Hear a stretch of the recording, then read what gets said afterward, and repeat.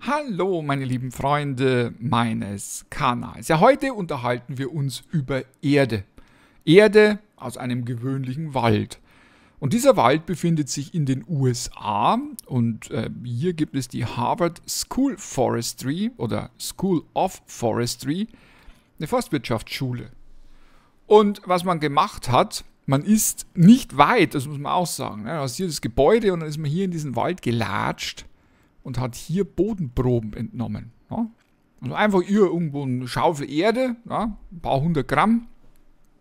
Und dann hat man die ins Labor gebracht und dann hat man das mal genauer untersucht. Und was man da gefunden hat, das ist wirklich außergewöhnlich und absolut faszinierend. Und wir gucken uns jetzt mal die Studie in Ruhe an. Ähm, hauptsächlich die Bilder, die dort gemacht wurden, und zwar mit Elektronenmikroskopen. Das ist nämlich eine sehr interessante Geschichte, was man da alles findet. Ja, und vorab äh, unter anderem auch eine Entdeckung, die sich mit einem Virus beschäftigt, der vor 30.000 Jahren eingefroren wurde, war durch eben das Klima äh, und immer noch aktiv ist. So, meine Lieben, und hier sehen wir die Studie. Die Studie ist öffentlich, die Studie kann man sich durchlesen, die Studie ist hochinteressant. Ähm, sie beinhaltet einige interessante Entdeckungen äh, in Verbindung eben mit Viren. Und wer sich das Ganze durchlesen will, kann das natürlich tun. Wie gesagt, unten in der Videobeschreibung gibt es dann die genaue Erklärung, zum Beispiel wie groß diese Viren sind. 0,2 ähm, bis 1,5 Mikro Mikrometer. Ähm, welche Anzahl an Genschnippeln in dieser Hülle dieser Viren zu finden ist und so weiter und so fort. Ist teilweise wirklich hochinteressant äh, dass diese Viren äh, extrem viel genetisches Material in sich tragen. Das brauchen sie ja auch, äh, um einmal den Bauplan zu übermitteln an den Wirt. Und sie sammeln aber auch Informationen über Lebewesen. Das heißt also, es wird also in diesen Viren teilweise Schnipsel von DNS mit eingebaut Fragmente, RNA-Fragmente, die dann auch wieder weitergegeben werden. Ne? Da muss man mal ein bisschen genauer hinschauen, inwiefern Viren auch für die Evolution verantwortlich sind. Denn was man jetzt auch in diesem äh, Wald gefunden hat, ist wirklich absolut faszinierend. Zunächst einmal eine kleine Übersicht. Was wir hier auf der linken Seite sehen, also A, das ist ein Virus, habe ich bereits angesprochen, ähm, den hat man gefunden in Sibirien. Ja ähm, würde man auch anderswo finden. Das heißt also, Permafrost auftauen und dann kommen, werden diese Viren freigesetzt, dann kann man sie untersuchen. Man kann sie aber auch in Eisbohrkernen finden und so weiter und so fort.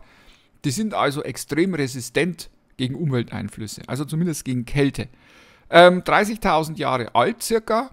Ja, das heißt also, wow, das ist schon gesundes Alter. Ja, also da kann man schon sagen, wow.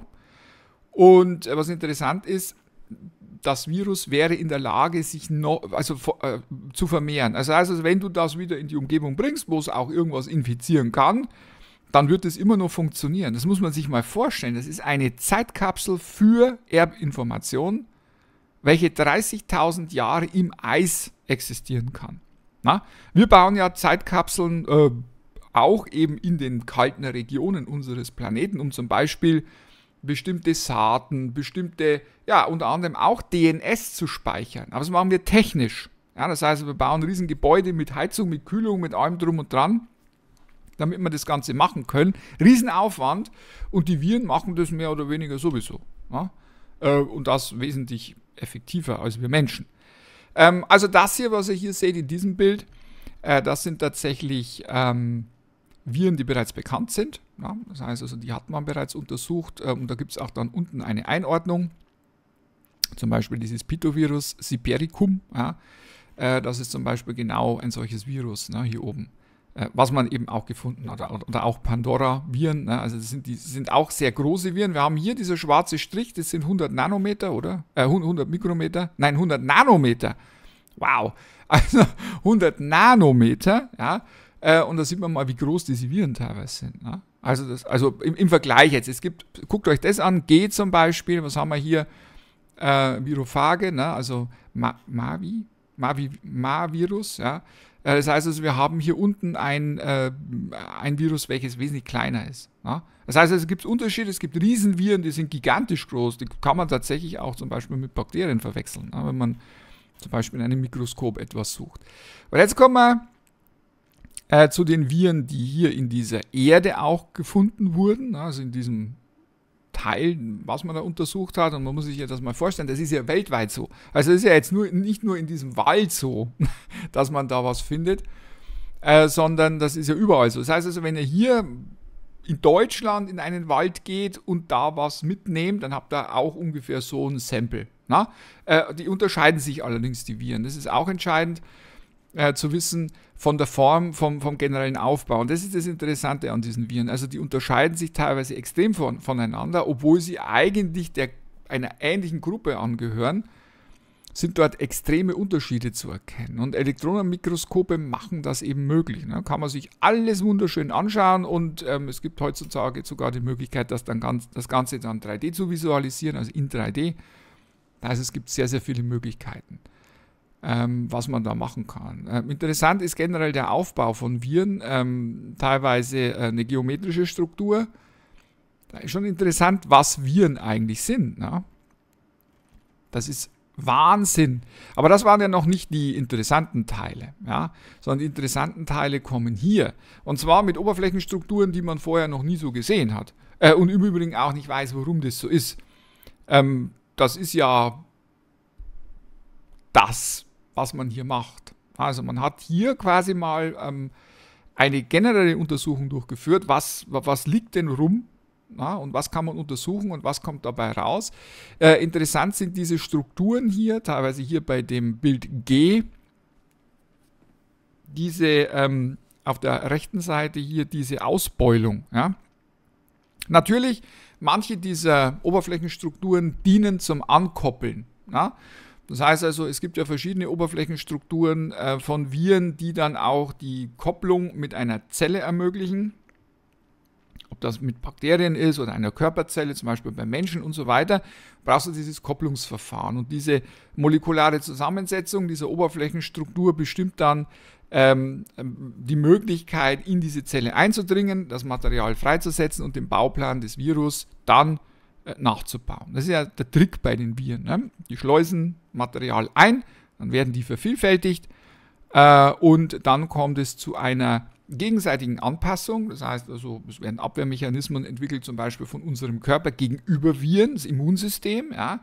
Äh, und äh, die Viren entwickeln sich aber auch weiter. Äh, und so kommt es zu einem solchen Wechselspiel. Und ja, das ist eben auch dann das Ergebnis, wie diese Viren teilweise ausschauen. Ne? Das heißt also, hier haben wir eine wunderschöne Struktur mit ähm, ja, so Ärmchen, die hier rausstehen. Ja. Und wir haben hier im Inneren, und das sieht man hier auch ganz deutlich, dann eben diese Kernstruktur des Virus und da sind eben auch diese Erbinformationen, also dieser Bauplan für das Virus drin. Ne? Da gibt es im Übrigen auch ähm, jetzt zumindest für den Anfang ähm, verschiedene Definitionen, Supernova, Morphotyp, Haarschnitt, Morphotyp, muss man gucken, C, was sind hier Haarschnitt? C also, ja, durchaus eine interessante Struktur, dass du hier oben äh, so kleine Härchen raus hast, während der Rest äh, des Virus dann von diesen Härchen verschont blieb. Ja? Aber ihr seht mal, wie komplex das Ganze ist ähm, und welche Subtypen sich herausbilden äh, in diesen Virenstrukturen. Das schaut ja gigantisch aus. Diese geometrische Struktur hier äh, bei Bild E, also faszinierend. Und ähm, muss ja eins auch sagen, also Viren werden ja nicht zum Leben gezählt, in Anführungsstrichen, denn sie sind nicht fähig, sich selber zu reproduzieren. Sie brauchen eine, äh, eine Zelle, die dann diesen Bau vollzieht. Ja, das heißt also, Viren würden auf unserem Planeten zwar auch noch existieren, wenn es kein Leben mehr gäbe, ja, äh, aber sie brauchen dann, damit das wieder anläuft, wieder lebende Zellen, ja, damit das Ganze funktionieren kann. Eigener Stoffwechsel fehlt auch, also äh, im Grunde genommen fehlt alles, was jetzt zum Beispiel das Leben so definiert. Das Einzige, was sie können, ist Kopien von sich erzeugen, aber da brauchen sie eben äh, eine Fabrik und die Fabrik ist dann eine Zelle, eine lebende Zelle mit Stoffwechsel und so weiter und so fort. Also ist eine sehr interessante Geschichte, Viren generell. Also das ist äh, faszinierend. Ähm, hier dann auch Oberflächenstrukturen, diese feinen Härchen, die ihr hier seht, ja, ähm, also Capsid Fibers. Das sind also diese Teilchen, die hier dann nach oben wegstehen, ja, also diese kleinen Fädchen, die man hier erkennen kann. Ähm, das ist eben auch dazu da, in die Zelle einzudringen, das heißt also Kontakt aufzubauen, die molekulare Struktur in diese ähm, Strukturen der Zelle. Also äh, es geht ja um Stoffwechsel. Ne? Bei der Zelle geht es ja um Stoffwechsel. Da geht es unter anderem auch um ähm, molekulare, zum Beispiel um Hormone, um äh, bestimmte ähm, molekulare Strukturen, die dann bestimmte Dinge steuern. Na? Äh, um Abläufe zu steuern in der Zelle und so weiter. Und das machen sich eben Viren zunutze. Die können äh, wo ankoppeln, wo eigentlich was anderes ankoppeln soll. Und das ist der Trick. Na, das heißt also, das ist eigentlich ziemlich fies. Das ist so eine Kuckucksstrategie, die Viren hier fahren. Ja. Äh, aber es funktioniert. Ja, das ist ja das Entscheidende. Hier sehen wir auch nochmal ein paar dieser Beispiele äh, mit dieser komplett, komplett, komplexen molekularen Oberflächenstruktur. Äh, das ist schon wirklich faszinierend, äh, was man in einem kleinen Erdhäufchen findet. Na, das ist eine komplett andere Welt als die unsere. Das heißt also, diese Viren existieren auf einer Ebene, ähm, die wir so tagtäglich nicht wahrnehmen können, weil wir gar nicht in der Lage sind, diese feinen Strukturen zu erkennen im generell. In der Luft, meine Lieben, sind so viele Viren, das könnt ihr euch überhaupt nicht vorstellen. Also in der Atmosphäre.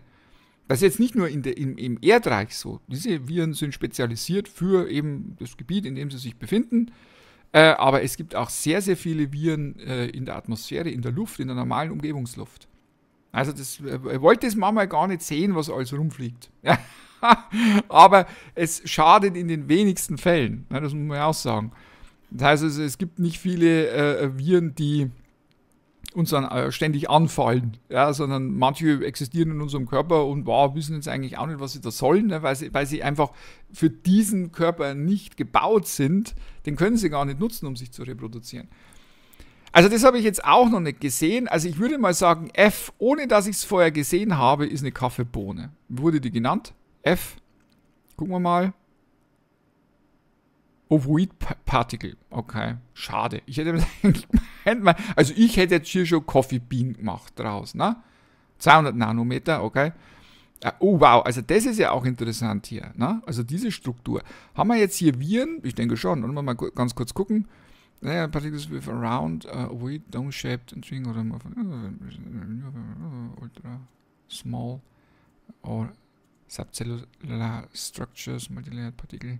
Okay, also es ähm, ist jetzt bei den Teilchen, die wir hier sehen, nicht so, dass das ähm, immer Viren sind, sondern das sind unter anderem auch ähm, verschiedene Strukturen, die sich auch aus anderen, zum Beispiel aus anderen Partikeln zusammensetzen. Ja? Ähm, also Pollen zum Beispiel sehen ja auch sehr, sehr interessant aus unter dem Mikroskop. Ja? Das kann zum Beispiel auch hier ähm, eine Polle sein ne, oder irgendwas, was wir hier sehen. Aber ja, gut, okay. Also so viel bin ich jetzt in der Molekularbiologie nicht. dass ich jetzt genau wüsste, was ich sehe. Aber gut, verlangt ja auch keiner. Äh, mal gucken, gibt es noch irgendwelche Bilder? Nein, unten sind wir dann schon bei der Beschreibung. Also das müsst ihr euch unbedingt mal angucken.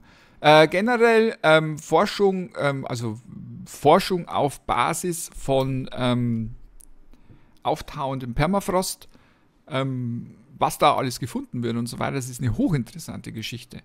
Und auch nicht vergessen, diese Viren sind seit Tausenden, teilweise Zehntausenden, vielleicht finden wir sogar welche, die Hunderttausende Jahre in diesem Eis eingeschlossen waren und trotzdem noch funktionsfähig sind. Da sagte mir mal eine Maschine, die der Mensch baut, die 100.000 Jahre im Eis überlebt und trotzdem nur funktioniert. Na, Viren können das. Viren sind perfekte Reproduktionsmaschinen. Besser kannst du das nicht bauen. Äh, vor allem bei den unterschiedlichen Bauplänen, die existieren. Also, also du hast ja Milliarden, ach, sage ich Milliarden, es sind wahrscheinlich Billionen verschiedene einzelne Baupläne für eine Funktion, die jeweils ein Virus ähm, dann umsetzen soll. Ähm, also eine hochinteressante Geschichte. Guckt euch das mal an und lernt was dabei. Nämlich, äh, dass man im Wald, wenn man zum Beispiel rausgeht in den Wald und ähm, Erde isst, immer einen Haufen von interessanten Strukturen mit sich einverleibt. Ja. Äh, wobei, ähm, ja, wer macht das schon? Ne? Es ergibt relativ wenig Sinn. Tschüss, bis zum nächsten Mal.